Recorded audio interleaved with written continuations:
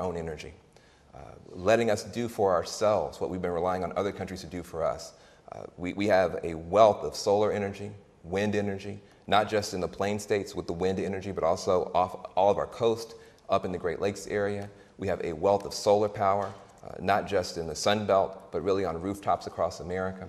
Uh, we have uh, an extremely uh, rich opportunity for smart biofuels so we can start growing our energy, letting our farmers get into the game here. And all of those uh, different technologies, uh, uh, geothermal, advanced hydro, all of them require not just good engineers and scientists, but also marketers, also uh, uh, uh, entrepreneurs, business people. So I would encourage you to really focus on that. The other thing I would say is that uh, some people say, oh, well, geez, I, I got to get out of school and start a solar company. I don't know how to do that. That's not what I'm saying. But what I am saying is that whatever you're passionate about doing, if, especially if you want to become an entrepreneur, you will have the opportunity to do that in a green way. If you want to start a, a, a hair salon, you can do that in a green way. If you want to start a, an auto repair shop, you can do that in a green way. And you will be rewarded in the marketplace for making those choices because both consumers and governments are going to be encouraging you to hit those higher environmental standards.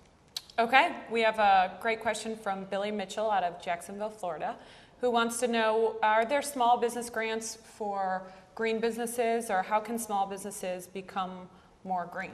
Gotcha. Well, um, there, that's, a, a two pronged answer to this question. If you want, just for everybody who's listening, if you want to know more about how to get government grants and contracts, recovery.gov has, uh, uh, is, is the main website to help you understand how you can plug in and how you can play. But there's a, a special website, and I want to make sure I get the name right, that is FedBizOpps, F E D B I Z Ops, O P P S uh, gov that really lets you see where the contract opportunities are. And then grants.gov lets you see where the, the grants are. And I encourage people to go and look at those two websites. They're being improved continuously. But I encourage people to go and look at those websites because you will be amazed at how many opportunities there are uh, to compete for contracts, uh, to compete for grants, to do any number of things that will uh, uh help your business go forward. Uh, the other piece is that the Small Business Administration uh, is very interested in this whole question of green entrepreneurs and helping to move, to move that agenda forward, making sure that our small businesses get a chance to uh, green up and clean up and become more profitable going forward. And so I encourage you to go to their, their website as well. Okay. We have uh, a lot of great questions coming in online. Yeah, I'll, answer, um, I'll answer shorter. We have uh, Annie Reinhardt, who is writing us from Burlington, Vermont who wants to know how are we going to get people who are living in poverty trained and uh, in for green jobs? Yeah, well, um, uh, that's really the passion of Secretary Hilda Solis. One of her passions is to make sure that people all across America and across different income levels can have the opportunity to be a part. For, uh, for instance, uh, you know, to talk about another great uh, uh, secretary, um, our Secretary of Agriculture, is committed to making sure that people who are living in rural America, who also need jobs, who also need opportunities, are plugged in. And for instance, in rural America, you know, we often talk about the solar panels going up in cities, we often talk about the wind turbines being manufactured in cities, but uh, where will those wind turbines be deployed? They will tend to be deployed in rural areas. So there are jobs there. Uh, if they're going to be deployed on big pieces of land, we have the opportunity to choose now to, to grow food crops, which is important, but we can also grow energy crops. So uh, we're talking about smart biofuels. We also have a lot of uh, fire danger that is built up in some of our forests around America. Some people are, are suggesting that there's an opportunity here, and we have money in our recovery package to go, uh, to, to go for wood to energy going back to wood pellets, which actually don't add to our global warming pro- uh, problem, but do create more rural job opportunities. Also, some people don't think about that much, is land restoration. We have places in America where uh, uh, the land has been uh, damaged. As you restore that land, you can do it in a way that it captures and stores more carbon in the soil, pulls that out of the atmosphere, greens up and is greens up that landscape so it captures more carbon in the plants.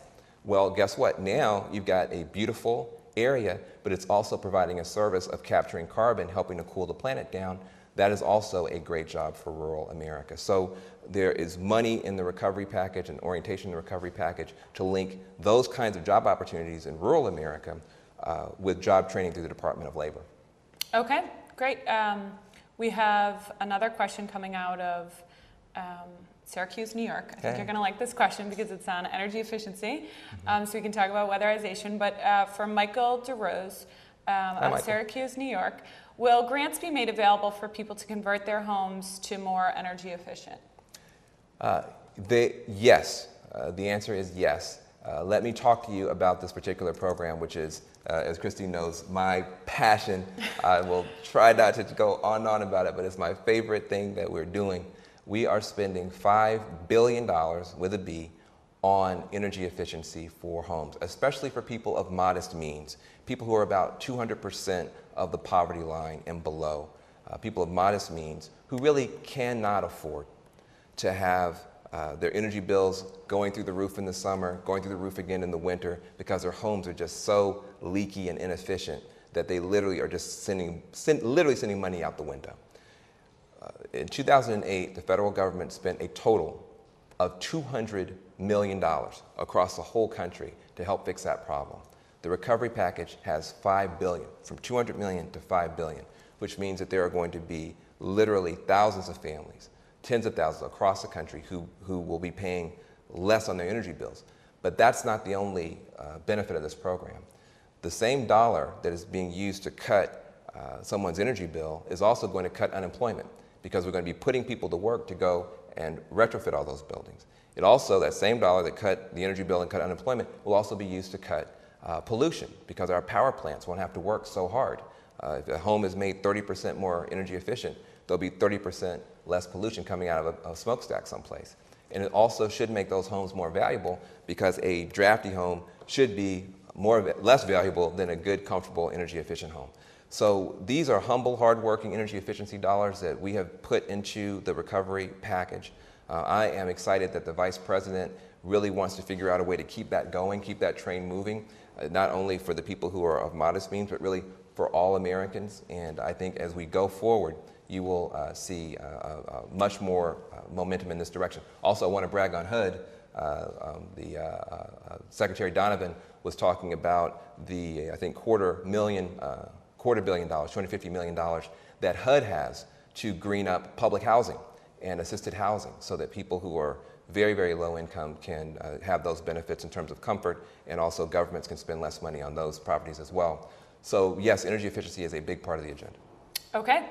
We have a question from Andrew Reback from Philadelphia who wants to know um, you know, there are a lot of people who talk about going green, dismissing it as hype or fad. Yeah. How can we ensure that these changes towards a green economy are indeed sustainable and result in long term changes? How do we do this?